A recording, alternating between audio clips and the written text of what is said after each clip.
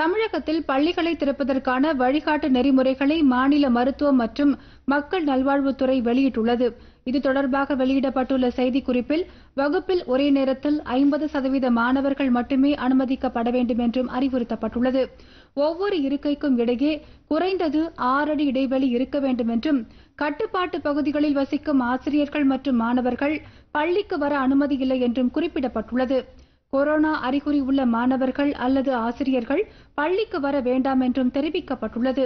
பள்ளி வளாகம் சுத்தமாக இருப்பதை நிர்வாகம் அல்லது உள்ளாட்சி அமைப்புகள் உறுதி செய்ய வேண்டும் என்று கூறப்பட்டுள்ளது.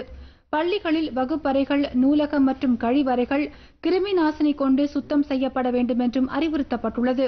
பள்ளி வாகனங்களை கிருமி நாசினி கொண்டு சுத்தம் செய்ய வேண்டும் என்றும் பள்ளிகளில் விழாக்கள் நடத்துவதை தவிர்க்க வேண்டும் என்றும் மக்கள் நல்வாழ்வுத்துறையின் செய்திக்குறிப்பில் தெரிவிக்கப்பட்டுள்ளது.